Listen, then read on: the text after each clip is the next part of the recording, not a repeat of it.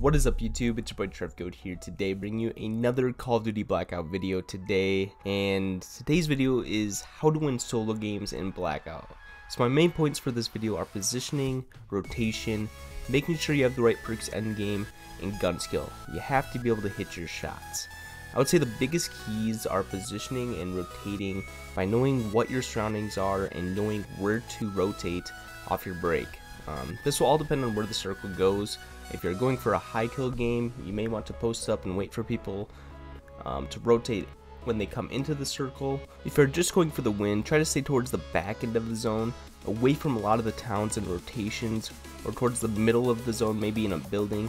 I know we all hate that guy that is camping in a building, but if you haven't won a solo game yet, it may be because you have been too aggressive um, at the beginning of the match, um, a lot of people die by like the fourth or fifth zone, so by staying grounded and not getting into as many gunfights will ultimately give you the best shot at being one of the top 5 endgame.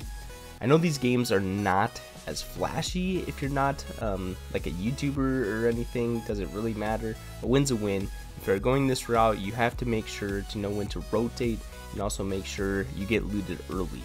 I would recommend rotating early and often to make sure you have the ultimate position on your enemies when they are pushing into the zone. Now if we're talking endgame, that is the time to not be too naive. Um, say you're top 5, top 10, you want to try and locate all the opponents if you can, um, so you know that you will not get shot in the back.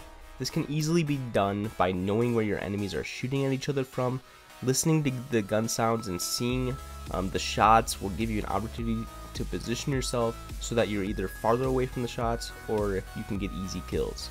This will be a time to maybe be closer to the zone because you know there won't be people rotating as late because the zone damage has increased so much. So let's say you have reached top 5 now. This would be a good time to pop all of your perks if you have not yet done so. I would say Dead Silence and Awareness would definitely be some good perks to have in that situation as you will be able to hear your enemies from farther away and also be able to sneak up on them without them being able to hear you. But besides those, I think Reinforce and Consumer are the two main perks to have late game. Everyone will be throwing nades and concussions late game, so you have the ability to counter those as best as you can. Um, you can also put like a trophy system down, um, that also helps. I'll show you a situation on the screen here uh, where I didn't have reinforced and um, I got lucky anyway. So what Reinforce does, doesn't allow stuns and grenades to do as much damage as it does, um, so I would have been moving a lot faster at that time um, with, with that perk popped. Consumer allows you to heal faster, which is also crucial at the end of the game if you are stuck in a tight situation or if someone is camping in a building and trying to win the game by zone. So I hope you guys enjoyed the video. I hope I made sense uh, with what I was trying to say. If I didn't, please leave a comment below and I'll try to answer that as best as I can. Um, if you enjoyed the video, please leave a like and subscribe for more. I'll see you guys later.